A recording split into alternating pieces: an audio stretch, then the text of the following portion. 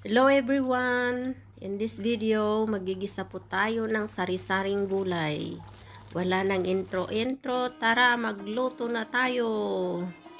Ayan guys, may kunti akong marinated na chicken, well eggs, sibuyas, bawang, carrots, patatas, cauliflower, mushrooms, at saka celery.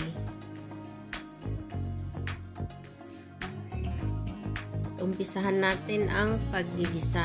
Painitin muna ang mantika at ilagay na ang ating marinated na karneng manok.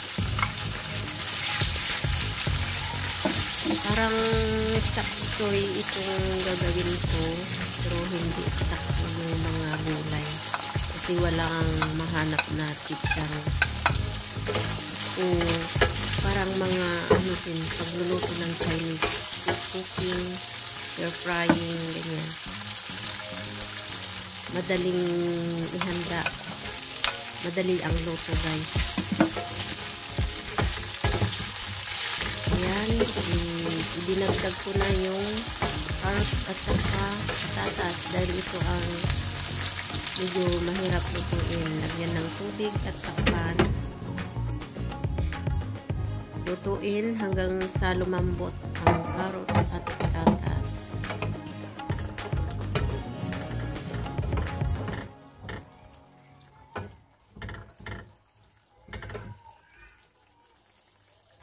Lagay natin ang celery guys. At ang mushrooms. Pati na rin ang cauliflowers.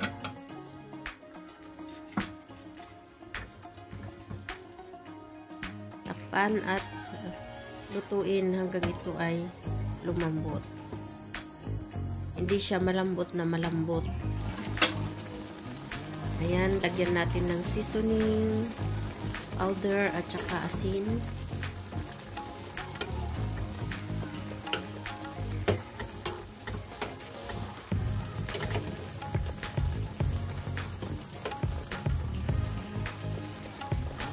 Idagdag na natin ang ating well eggs. Boiled na yan guys ha. Napakadaling ihanda guys. Madali at masarap, masustansyang ulam.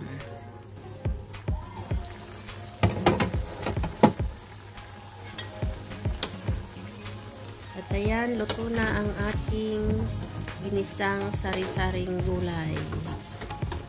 Pwede nating tawaging chapsoy pero hindi kumplito ang mga gulay nito. Pag nagustuhan mo ang video ito guys, paki-like, comment at subscribe. Suporta para lumaki ang aking channel. At naglagay po tayo ng pampalapot, yung dissolved na cornstarch para maging saucy siya. Salamat po sa inyong patuloy na pagsusuporta sa akin. Sa walang sawa ninyong panonood sa aking mga simpleng lutuin. Mabuhay po tayong lahat. God bless.